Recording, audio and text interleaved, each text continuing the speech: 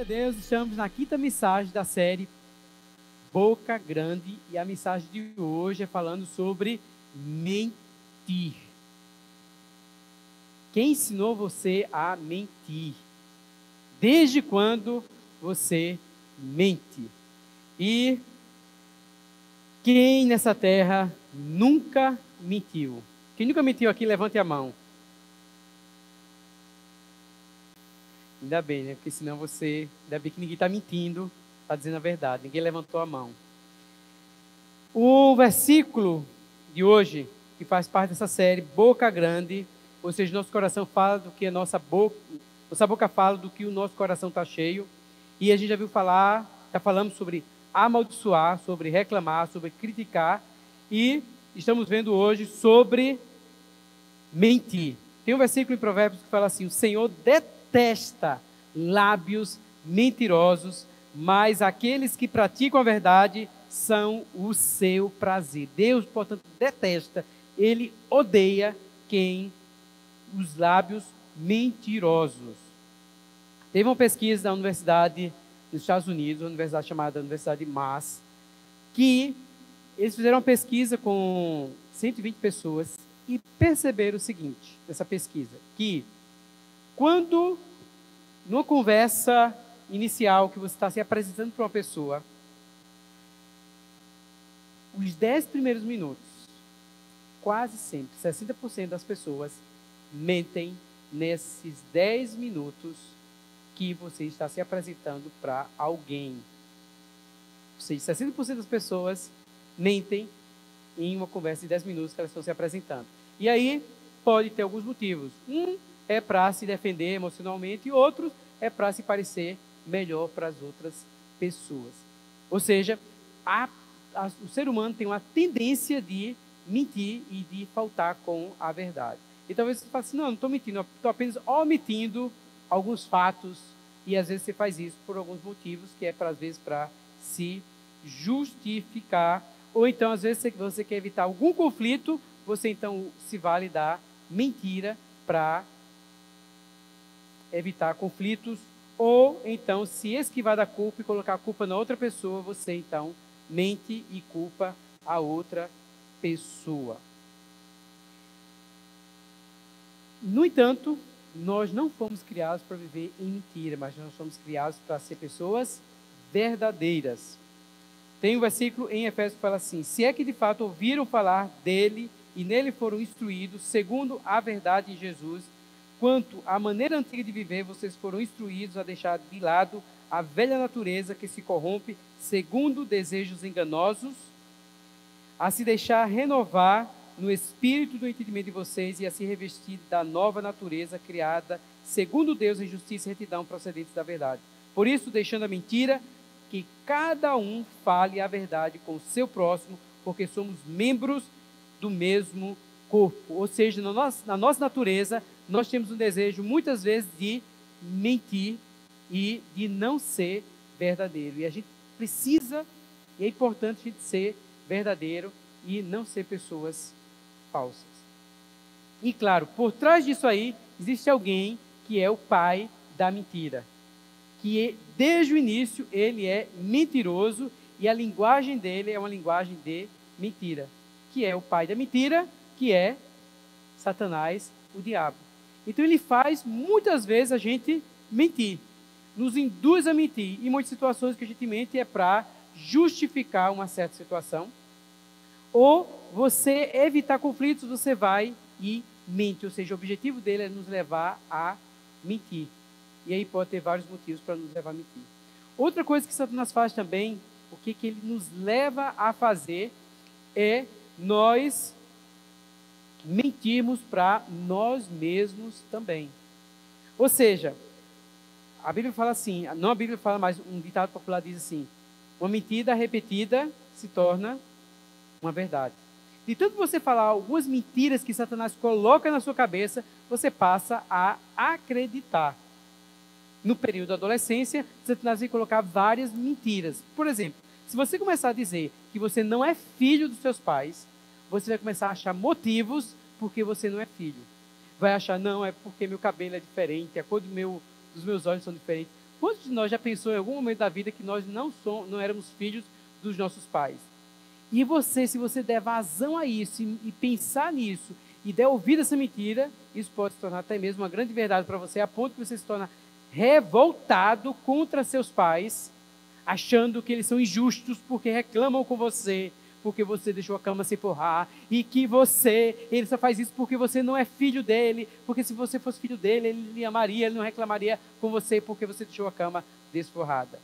E aí você passa a acreditar nas mentiras de Satanás. Ou então você começa a imaginar: ninguém gosta de mim, todo mundo está falando mal de mim. Veja, as pessoas estão rindo ali, é porque elas estão rindo de mim, elas estão rindo dos meus olhos, elas estão rindo da roupa que eu estou vestindo, elas estão rindo do jeito que eu falo. E aí você começa a ouvir as mentiras de Satanás e você passa a acreditar e viver uma vida de mentira, sendo levado a viver essa vida de mentira de Satanás. E aí Satanás começa a colocar medo em você e você se torna vítima também de Satanás.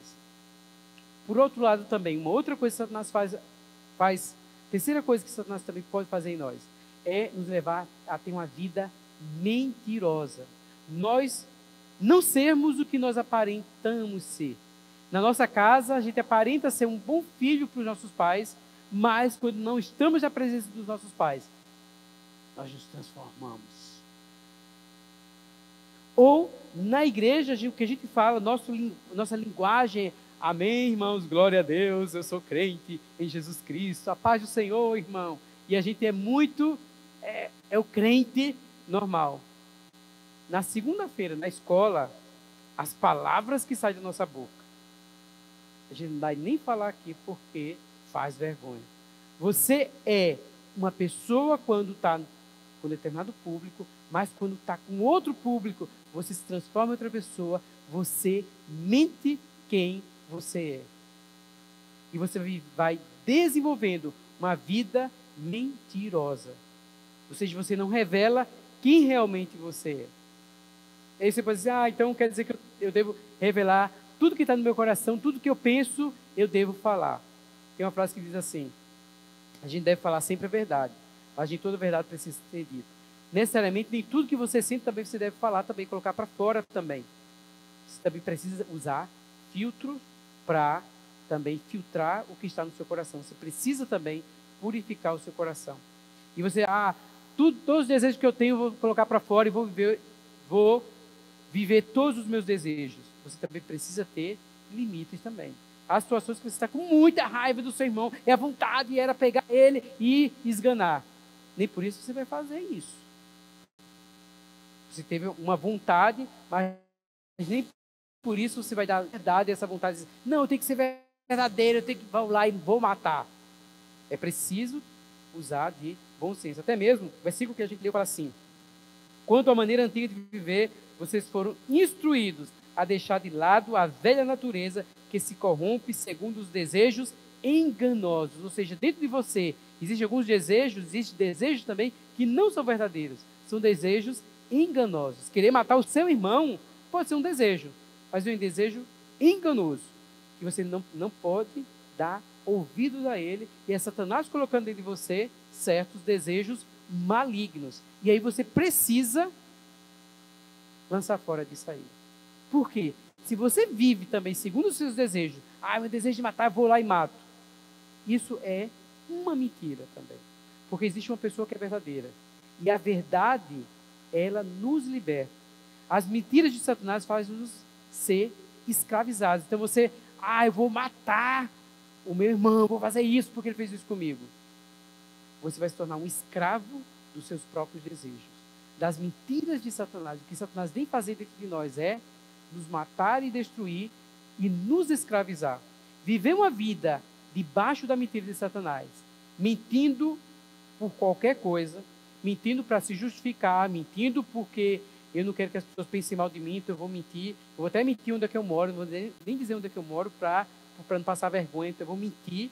Vou mentir que eu tenho isso isso dentro de casa para não passar vergonha. Eu lembro que uma vez, com medo de passar vergonha, porque toda vez que meu coleguinho levava iogurte para a escola, aquele, o Danone, rosinha, que ele abria na hora do intervalo para comer, eu tinha vontade de comer aquele iogurte. Uma vez ele ofereceu, quer? Eu falei, não, quero não, minha casa está cheia assim de iogurte. Ou seja, eu fiz isso porque menti para quê? Para defender, para me parecer bem na fita. Então eu minto para não passar vergonha, para me sair bem, para ser bem quisto pelas pessoas. Né? Talvez as meninas elas já mentem para proteger seus sentimentos ou proteger os sentimentos de outras pessoas. Já os meninos já, já mentem para mostrar que estou certo, sou melhor. Gol? Você não sabe como é que eu jogo futebol. Se eu jogar, eu faço gols e mais gols. Sou bom de futebol. Né? E aí, ou seja, muitas vezes mentimos para essas situações. Gente não precisa dar vazão a todos os nossos sentimentos, porque esses, essa mentira, ela nos torna escravos. Mas Jesus é o caminho, a verdade e a vida. Ou seja, em Jesus tem a verdade e Jesus é a verdade. E andar na verdade de Jesus, andar em Jesus, andar na luz dele, andar no caminho, nós somos livres. Livres, você tira uma, um peso sobre você, você tira uma máscara sobre você de viver debaixo de máscara, com medo de, de ser descoberto quem você é. Quantas vezes você mentiu e uma mentira você teve que cobrir outra mentira, cobrir outra mentira para se esconder. E aí é viver escravizado debaixo da mentira. Você tem que estar tá o tempo todo usando uma mentira para cobrir outra mentira. Por outro lado, quando nós confessamos os nossos pecados, quando nós confessamos o nosso erro, nós somos perdoados. Então, diante de Deus, confessar os pecados é ser perdoado. E confessar também os nossos pecados para as pessoas, nós somos curados. Porque é terrível você viver o tempo todo se escondendo do outro, usando mentiras para cobrir outra mentira, e você com medo de ser descoberto. Isso cria angústia dentro de você. Ou você escondendo de filhos, ou escondendo de amigos, ou escondendo debaixo para outra pessoa quem você é, o erro que você fez. Isso é terrível. Mas confessar diante de Deus, você é livre. E confessar os seus erros para as pessoas certas é uma liberdade. Você talvez na sua casa você foi e pegou um dinheiro indevido que você não devia ter pego do seu pai, do seu irmão, e você vive o tempo todo escondendo. Não, foi falando tal que pegou, foi desaparecer, alguém entrou aqui. E isso é angustiante para você, viver debaixo dessa mentira. Tanto isso prejudica para você, mas quando você confessa diante de Deus que você realmente fez isso, e confessa para sua família o que você fez, você é livre e você acha o caminho muito próximo da cura, se não já foi curado. Em 1 João fala assim: que se confessarmos os nossos pecados, Ele é fiel e justo para nos perdoar os pecados e nos purificar de toda injustiça. Qual é o plano de Satanás? O plano de Satanás é fazer você mentir para justificar várias coisas suas, mentir para si próprio e também ele faz você viver uma vida de mentira. Essa é a proposta de Satanás. Mas o plano de Deus é a gente confessar os nossos pecados. Não ter medo de confessar os nossos erros. Porque se nós confessarmos, Deus é fiel e Ele é justo para nos perdoar de todos os pecados. Ou seja, confessar os nossos pecados, nossas falhas diante de Deus, tomar esse caminho de Jesus, que é o caminho da verdade e da vida, nós somos livres e perdoados. E confessar também nossos erros, nossas debilidades diante das pessoas também. Não ter vergonha de ser autêntico, de ser verdadeiro, você vai ser curado. Em Tiago fala assim: Portanto, confessem, confessem os seus pecados uns para os outros e orem uns pelos outros. Isso está em Tiago capítulo 5. Vou repetir outra vez. Confessem os seus pecados uns aos outros e orem uns pelos outros, para que vocês sejam curados. Confessem os seus pecados uns aos outros e orem, e vocês serão curados. Confessamos os nossos pecados diante de Deus para sermos perdoados e confessamos os nossos pecados uns aos outros, para as pessoas devidas. Isso traz cura para nós. Que tal então a gente encher a nossa boca, abrir a nossa boca para escolher o caminho da verdade, para querer viver uma vida verdadeira, para praticar a verdade. Deus abomina lábios mentirosos, mas ele mas aqueles que praticam a verdade são o seu prazer. Nós somos filhos da luz, somos chamados para viver na luz e nós queremos viver na luz e da nossa boca uma boca bem grande para proclamar as verdades do Senhor. As verdades de Jesus para nós, nossa vida e para a vida das pessoas. Em vez de ficar ouvindo e falando mentiras de Satanás para as pessoas, para nós mesmos, tomarmos a palavra de Deus para falar as verdades. Em vez de você dizer assim, minha vida está um inferno, isso é uma mentira de Satanás. A sua vida não está um inferno. Sua vida está com muitos problemas, ou dificuldades, ou desafios, mas você tem Jesus na sua vida. Isso é falar também verdade, a mentira. É você tomar a palavra de Deus e falar a verdade na sua vida e andar nesse caminho da verdade, porque Jesus é a verdade. Então, essa é a última mensagem dessa série do Papo Legal. Boca grande. E agora a gente vai fazer uma coisa bem legal, que é citar as mesas. E nós vamos então conversar sobre essa mensagem agora. Você que também está nos assistindo, quer dizer a você que essa mensagem está no site chamado igrejaaberta.com.br. A mensagem, a sinopse dessa mensagem, artes para você usar no seu grupo jovens ou no seu grupo de reuniões semanais. Você pode usar também essa série dessa mensagem para reunir jovens, reunir adolescentes, senta com eles, ouve essa mensagem, lê a sinopse, usa o roteiro do Papo Legal e edifica o teu pequeno grupo. Isso você pode acontecer durante a semana, pequenas reuniões, pode usar também com a sua família e revolucionar usando o Papo Legal. Que Deus abençoe você. Amém.